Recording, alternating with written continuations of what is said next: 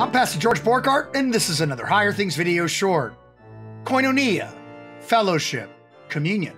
That's the subject of today's Higher Things video short. Like, subscribe, ring the bell, donate. If you love our videos, if you love what we're doing in Higher Things, passing the faith to the next generation, like our videos, subscribe to our YouTube channel, ring the bell for notifications. Right off his nose. And donate your tax deductible gift to Higher Things. 501c3 helps us keep passing the faith on to young people. And we need it in those in these dark times. I don't know what I'm doing. I'm just throwing treats and he's getting them. Koinonia, it's a Greek word. Okay. It's used in Philemon 6, which we had yesterday. I want to look at this again just for a second. But on Fridays, we like to take a look at words, and this is a good word to take a look at. Um, so that the communion of your faith would be energetic or active or working in in the revealing or the knowledge or the recognition of all the good in in us in Christ Jesus. Okay? So ends the text. Communion. That's the word. Koinonia.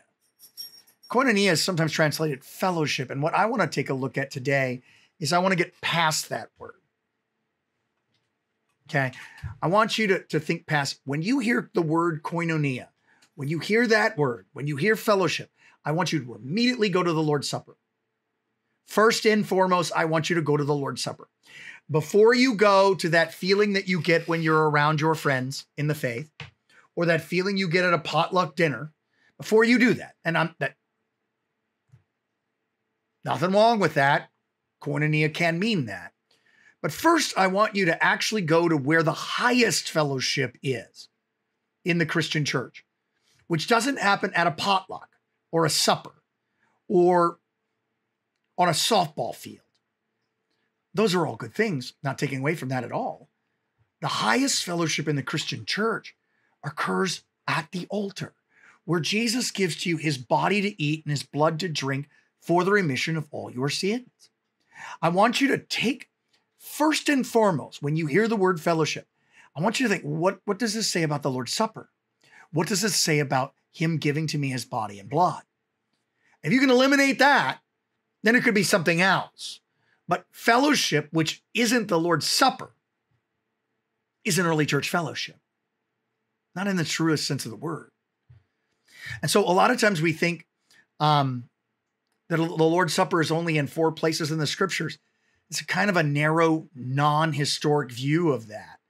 The word koinonia, which becomes communion, the sharing of common things, is first and foremost in the early church used for the body and blood of Jesus.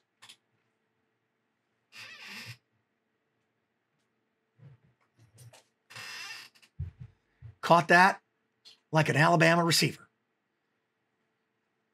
So, koinonia, common things, the Lord Jesus giving to you his gifts the sharing of your faith. And here in Philemon, it's it's so very clear. The sharing of your faith is active. Uh, see, that is so weak. It's not the sharing of your faith, except it's the sharing of your faith as the Lord bodies and bloods you together with your neighbor. That's where faith and love happen. Most clearly is at the Lord's Supper. Think about it. Just try it for a little bit and see if whether or not this use of koinonia as something other than sort of generic fellowship, if you find, oh no, the dog's got the squeak toy. If you if you start trying to understand first and foremost koinonia as communion, as the body and blood of Jesus, whether it opens you up to a little bit of more good things in Jesus from God. Think about it. I'm Pastor George Borghardt, and this has been another Higher Things video short.